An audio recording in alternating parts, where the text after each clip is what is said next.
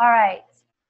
It is fitting that this is the animation that precedes Courtney, who's going to share her work with you from this semester about the mental models we make and the distinctions we draw when discussing race in America. So without further ado, that'll finish up and you can click right through. Click it to your next slide twice, twice. Right there. No, this one. You. All right. Good morning, everyone. Welcome. It is my pleasure to be here this morning. Um, and I will direct my discussion today on the importance of capturing perspectives, a systems thinking approach to race in America. Now, when we think of a topic like race, I would uh, suggest that various mental models come to mind. So we each individually harbor our own mental models of race, what racial categories are in the United States, uh, how they came to be, who belongs in each category. And I'd first like to direct your attention to a PBS activity, which really challenges those existing models of race that we each harbor each and every day. This activity is entitled, Can You Tell Someone's Race by Looking at Them? And it's a sorting activity facilitated by PBS. You're welcome to go online and try it. And it implores users to try their hand at sorting photographs of individuals into the appropriate racial categories. And those racial categories included in the activity are those commonly seen on US Census documents, um, components of our everyday American life. And those categories, racial categories, are Black, White, Hispanic, Latino, American Indian, and Asian. Now, I asked two of my Cornell colleagues, one international student and one student from the United States, uh, to participate in this activity for me, and these are the results. Uh, as you can see, the results are the following for the American student on the top um, illustration and the international student on the bottom. And the results were that of the 20 individuals photographed, only 20% of those photographs were placed in the correct racial category. And by correct racial category, I mean uh, placed in a racial category consistent with the way in which the individual photographed would choose to identify or classify themselves uh, which means, therefore, that 80% of people were incorrectly identified. And this discord, this disconnect, uh, points to a fundamental difference in mental models, which I believe is connected to the fourth rule of systems thinking, which is perspectives. Systems thinking, as has been discussed throughout the day, um, embraces four simple rules, DSRP, or distinctions, systems, relationships, and perspectives to attempt to understand complex real-world systems such as models of race in the United States.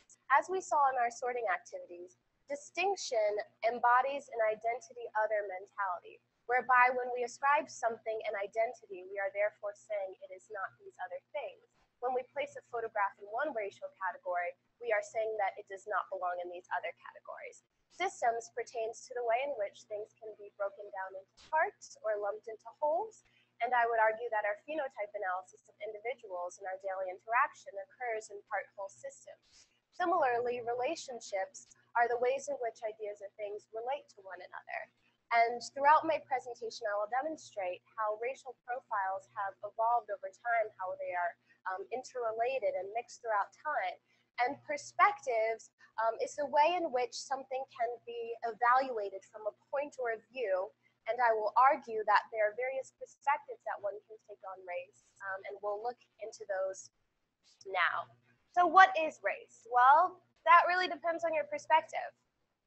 The United States Census Bureau, when uh, attempting to explain how consumers typically fill out the census document, um, says that the racial categories generally reflect a social definition of race recognized in this country and not an attempt to define race biologically, anthropologically, or genetically. Now, the problem with this social definition of race, as we saw in the sorting activity based on phenotypes, is that our mental models that we employ when we participate in this racial sorting or when we try to categorize people often it fails to approximate reality or the real world. There's some kind of disconnect there. So I argue that mental model one of race which captures a social perspective of race based on phenotypes, should be replaced by mental model two of race, which captures an anthropological perspective and biological and genetic perspectives on race. The anthropological perspective embodies the economic, social, and political factors that are the reason and the justification for the advent of race in the United States.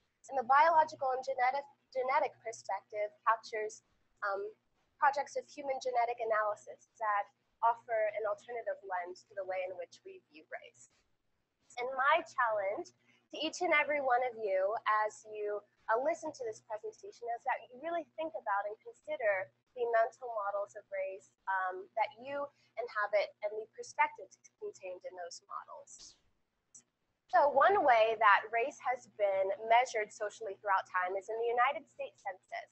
When the census was first taken in the year 1790, U.S. Marshals would go and survey homes and identify individuals in that home with a particular racial group, based, of course, on their own mental model, their own interpretation of those individuals in that home. It was not until the year 1960 that individuals were able to self-identify. When the census was first taken, there were three census groups. By the year 2010, at the last 10-year census, there were 19 census groups, a progression that looks a little bit like this. And this is just a snapshot of various census points in time, but it demonstrates how racial groups were added, amended, taken away, how they evolved throughout the years, which speaks to the fact that race is uh, something that more reflects the public opinion and social attitudes about race instead of something that is stagnant and can consistently, clearly be defined over time. Categories such as mulatto, mulatto slaves, Indians, quadroons, and octoroons are all names of racial categories that were um, included at some point historically on the United States Census. And to conclude, in terms of that social racial perspective, that really goes to show you how um, names of racial groups can change, how qualifications of different racial groups can change, and how race can be better looked at from anthropological and biological perspectives. From an anthropological perspective, race was employed in this country to accomplish economic, social, and political objectives. When Europeans and Africans first arrived as indentured servants in the United States, there was a fear among the smaller ruling elite of a rebellion of the servitude class, which was larger inside, against those in power. So race was instituted as a mechanism to divide those with similar economic interests, and race was used to elevate the social status of Europeans in society, to legal, legally elevate them in society, and it was used to continue to oppress um, the African population in the United States. In fact, once these racial categories were established, Negro, mulatto, and Indian slaves could be used as collateral, they could be uh, used as credit, uh, sold as real estate, killed without consequence, and maimed, whipped, or even killed for associating with whites. Um, furthermore, they were forbidden to do things like earn money, gather in groups, breed, or raise food. And things like these slave codes and these prohibited slave laws really worked to codify a social hierarchical structure of power in the United States. And these things were justified by scientists, for example, who advanced that uh, Africans were an inferior human race. And there were scientists that would advance this theory through a variety of techniques, including uh, skeletal analysis in craniology, and this here implies a uh, degeneration of the uh, races over time into distinct racial categories. Uh, similarly, skeletal analysis here to accomplish a particular purpose. Things like eugenics and phrenology, and here we see our distinctions again being made in part whole systems to try and justify scientifically the oppression of less desirable social groups, um, such as groups of color or immigrant populations in the United States. The Human Genome Project was completed in 2003, and it was an attempt to sequence the entire human genome. And it went around the globe and sampled various populations and found that, in fact, there are not multiple races and there is not any hierarchical order, but that there is a single human species. And that single human species has origins in Africa. Things such as skin color that we in the United States associate with distinct races of people can be explained scientifically by uh, ancestral populations that migrated closer to or farther from intense sources of heat, such as the equator, and the amount of pigment more or less needed in their skin in order to adapt to their environment. Um, so again, none of these observable traits that people typically associate with race are inherent traits, but whether they're complex traits and different allelic frequencies that are inhabited over time. So I challenge you all again to reevaluate the perspectives contained in your own mental models of race.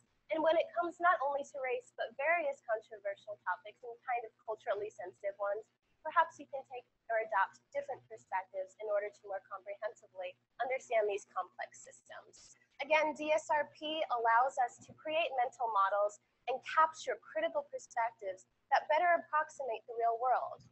And when we do this, our mental models can benefit more both the consumers of those models and those that are impacted by its externalities. Thank you so much.